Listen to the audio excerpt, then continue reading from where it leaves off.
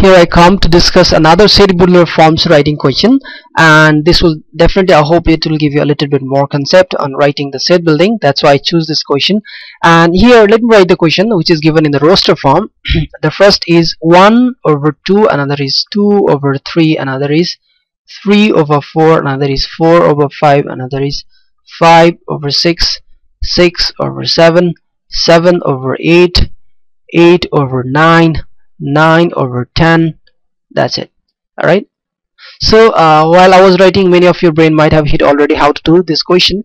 Because whenever I was writing the numerator I was getting one more in the denominator. Like 2 then 3 just one more is there. 3 then one more is there. 4 3 plus 1 that is 4 alright?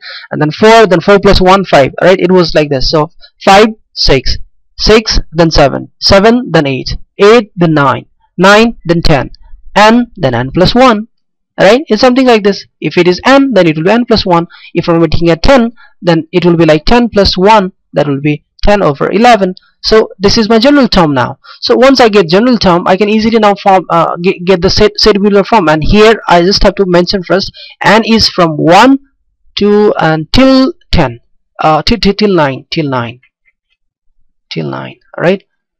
Because when you put here 9 then you'll get 10 here automatically. So writing this into the set builder form what I will I will do? Again the same process I, I, I used to do right? It's like uh, suppose this is set A right? And the set A uh, whose members are x such that its member x is equal with n over n plus 1 and n belongs from natural number and n is greater than or equals to 1 but less than or equals to 9 that's it.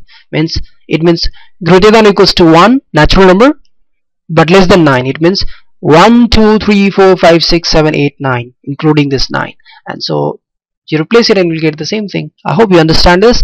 And in next video I think probably I'll make some theories uh, that will give you concept. And after the theory again the exercise. So this will be the way of learning our first theory then uh, exercise theory then exercise theory then exercise. Alright catch you in the next video. Goodbye